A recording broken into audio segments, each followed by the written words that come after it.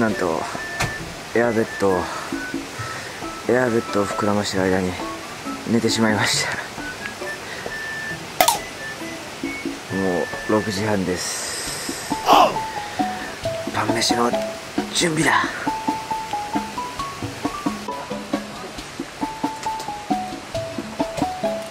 火つけました。今回はこの焚き火台を借りてこの上でバーベキューしようかなと思います。だいぶ暗くなってきましたね。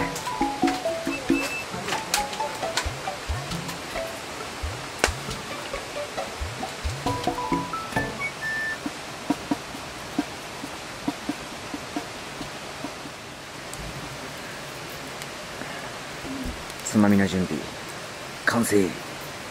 じゃあビールいただいちゃいます。あの銀河高原ビールいつも買ってる瓶のじゃなくて缶のやつがなかったんでこちらのピンでね。よいしょ。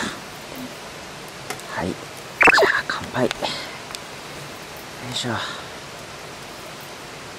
いただきます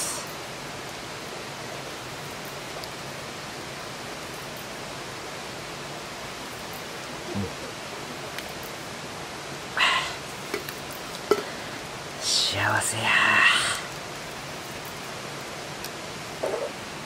今回は初心に戻ってですね焼肉とエビですね。このエビ。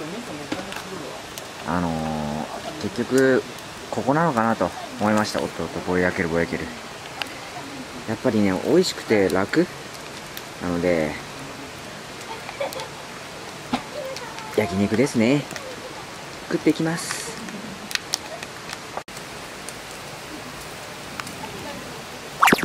あー久しぶりのこの感じ。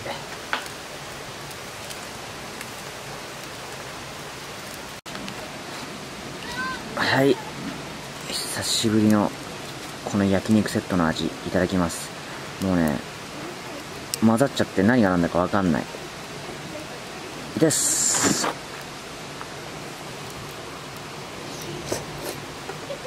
うん。うめえ。懐かしさに涙が出る。美味しい。かわいい。ソーセージが寄り添ってる。寄り添ってますね。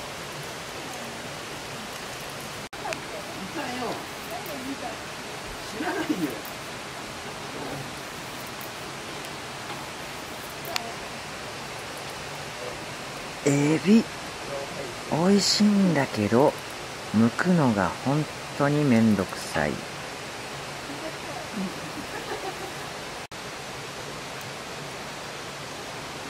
エビさんたち炊事場で全部剥いていきます。激アツです。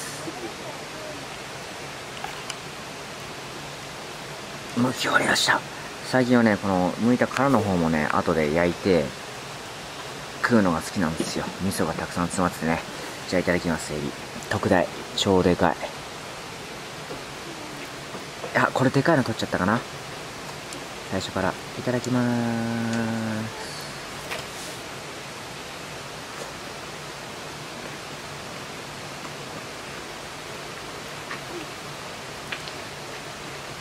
うますぎ。ちょうどねミディアムレア。うまーやばい。ほんとうまいこれ。え美味しいよ。うまげじゃやっと2本目ですね。よし。もうね8時近くなってるんですよね。仮眠取りすぎたな。ただ仮眠取りすぎたおかげで頭だいぶすっきりしてる。昨日寝てないからね。うん。うまこの後はメインディッシュが待っております。楽しみ。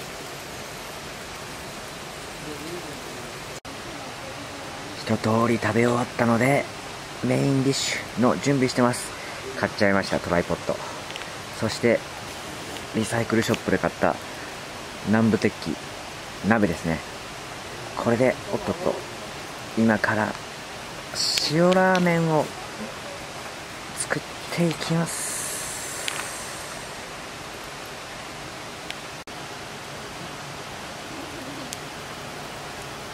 相変わらずあのポータブル扇風機が一瞬で火ついてくれて助かりますね。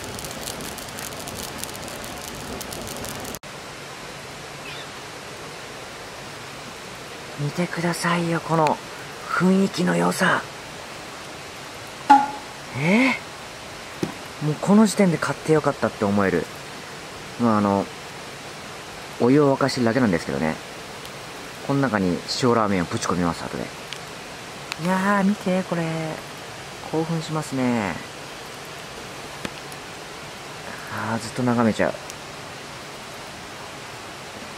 な眺めちゃいますねああすいません。はい。この中に塩ラーメンのスープをぶち込んでいきます。そして麺をこの後麺と野菜ぶち込んでいきます。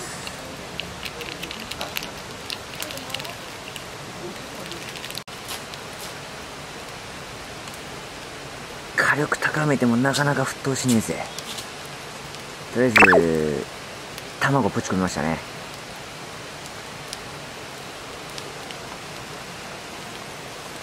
あれこれ水が少ないのかな？ちょっと足すか。さすがにやばそうだな。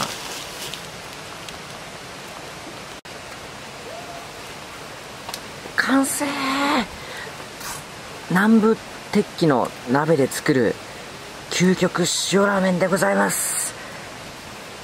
この後実食。はいじゃあ食べてみます。まああの塩ラーメンなんで美味しいとは思うんですけど汁がね結構飛びました。色合いが悪いね。もうちょっと緑色の部分のネギ使えばよかった。いただきます。音失礼します。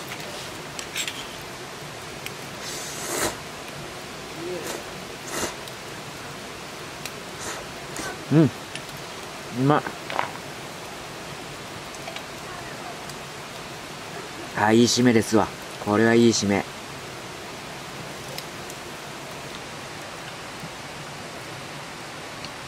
さっきまであった汁がもうほぼなくなってますね。ちょっと水入れようこれは。さすがに。はいごちそうさまでした。やべえ苦しい。もう時間もいい時間になってきたんで洗い物して。しっぽりタイムかな。焚き火タイムですね。洗い物してきまーす。大変だこれ。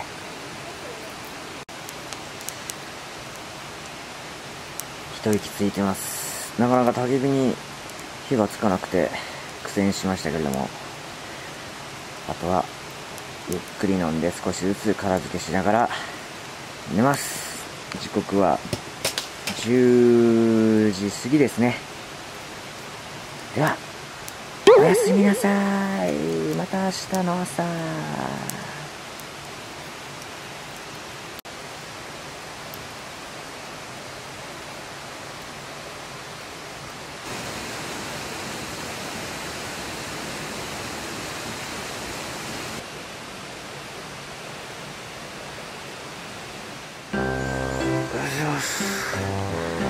二日酔いと。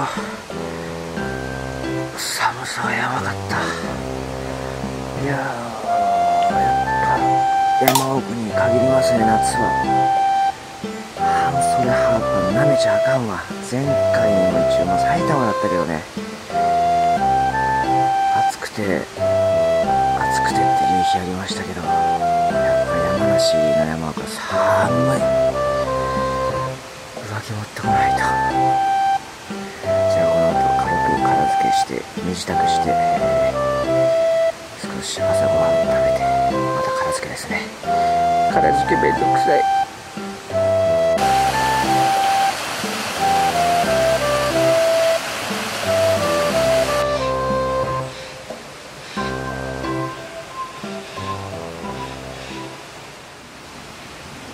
はい改めましておはようございます。今日の朝ごはんは最近家で流行っているフルーツグラノーラと山梨と今日ですね。こちらをいただきます。キャンプ場の朝いいですよね。みんな眠そうな顔しながら。でそれでもなお幸せそうなんですよね。わかります？この感じ。いただきます。